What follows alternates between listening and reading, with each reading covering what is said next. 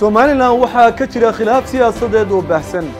Waxa uu keenay mudaharaadyo sababay in ay dad dhintaan islamarkaasina dad badani ay dhaawacmaan. Sidoo kalena xabsiyada la dhigo in ka badan boqol qof booliis badan oo dhaawac ah arrintani saamayn ballaadhan ayaa ku yeelatay guud ahaanba nabadgelyada iyo isku socodka dhaqaalaha nolosha dhaqandhaqaale ee somalilan oo dhan. Somalilan haddaba sidee loogu gaadhi karaa isfaham siyaasiya oo hirgala sidee lagu gaadhi karaa in doorashooyin nidaamsan oo laysla ogol yahay somalilan ay ka dhacaan? Sidee loo xallin karaa khilaafka siyaasadeed ee somalilan ka jira? Su'aalahan waxaynu kaga jawaabi doonnaa barnaamij la xidhiidha.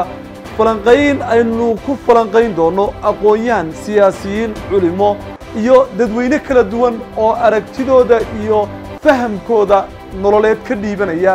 Arrimaha siyaasiga ah ee masiiriga ee somalilan laysku hayo arrintan sidee xal loogu heli karaa sideese loogu soo dabaali karaa? Xal waaro oo dhinacyadu ay isku fahmaan iyadoo laga tegayo in middi middi ku taag ay noqoto xalka ugu dambeeya ee somalilan sidee loo badbaadin karaa in aanay nafadanba dhiman? Sidee loo badbaadin karaa dhaqaalaha nabadgelyada hantida bulshada somalilan sidee loo wadi karaa horumarka somalilan ay ku caanamaashay?